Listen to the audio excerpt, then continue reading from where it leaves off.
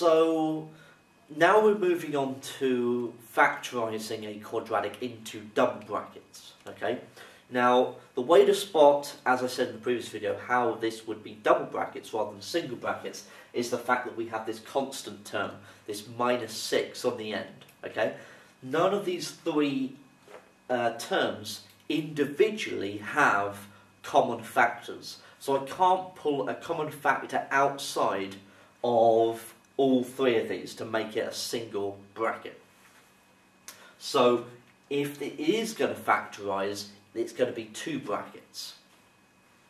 Now, a lot of people don't particularly like factorising. In some cases it can be tricky and that puts people off. Um, so hopefully I'm going to give you a few kind of ideas and methods of how to do this and how to get around it and how to become comfortable with it. It is essential that you practice factorising. It's you need to really make sure that it's uh, you know the natural thing to be able to do. And in order to get that good at it, you are going to have to practice it.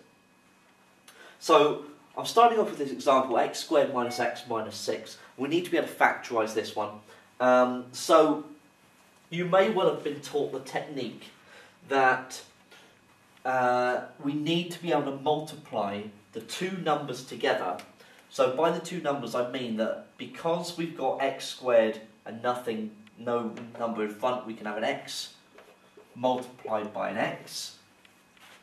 And the two numbers that are missing, here and here, need to multiply together to make the minus 6, but they also need to add together to make minus 1, the number that is in front of the x, the coefficient of the linear term.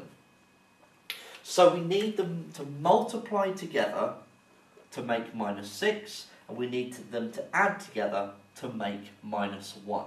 Okay? And what you really need to do is you just need to think about what those two numbers could possibly be.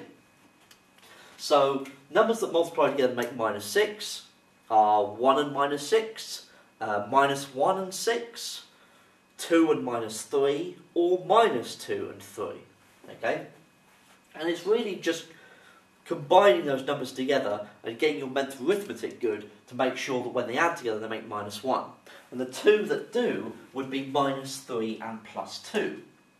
Minus 3 plus 2 is minus 1, minus 3 times 2 is minus 6. So that is perfectly fine as the two numbers, and that's how it would factorise. Uh, some students ask me, uh, doesn't matter which way round they go. It doesn't. Okay, so you could have, you're perfectly fine writing this, which is exactly the same as that anyway. Okay, they are both the same thing. So don't worry about uh, switching the brackets round into any order you like, that's fine. Okay, uh, it's the same as saying that 3 times 2 is the same as 2 times 3. Okay, so it wouldn't change it. So in this, that's how you need to be able to factorise when the coefficient of x squared is just 1. And in the next uh, video, we're going to be looking at an example where uh, the coefficient isn't 1, and that's where it becomes a little bit more fiddly.